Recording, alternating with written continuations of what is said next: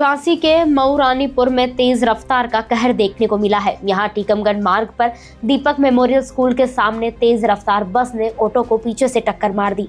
Auto में लगभग सात स्कूली बच्चे सवार थे, जिनमें से ऑटो चालक से तीन बच्चे गंभीर रूप से घायल हुए हैं। इस दौरान बस चालक बस छोड़कर मौके से भाग निकला। वहीं आनंद फानन में घायल बच्चों को सामुदायिक स्वास्थ्य केंद्र में भर्ती कराया गया।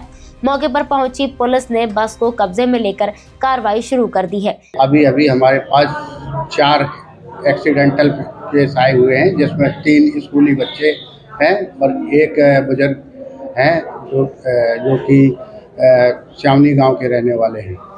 ठीक है, बताया जा रहा है कि टैक्सी और बस में टक्कर हुई है, पीछे से बस ने टक्कर मार दी है।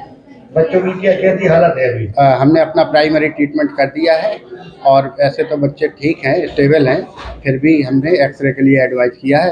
एक्सरे होने के बाद फिर मेडिकल कॉलेज रेफर कर दिया पीछे से बस आ रही है और जो टैक्सी में बच्चे थे स्कूल के उसको मारती हुई पीछे से ठोकर मारती हुई बस जाने लगी। उसको तत्काल प्रभाव से लोकल के जो और स्टाफ या लोकल के लोगों ने पकड़ा। लेकिन वो ड्राइवर तुरंत उतर कर भाग गया कितने लोग घायल हैं घायल चार लोग घायल हैं। चार बच्चे हैं? जी जी। और कोई यात्री भी घायल है?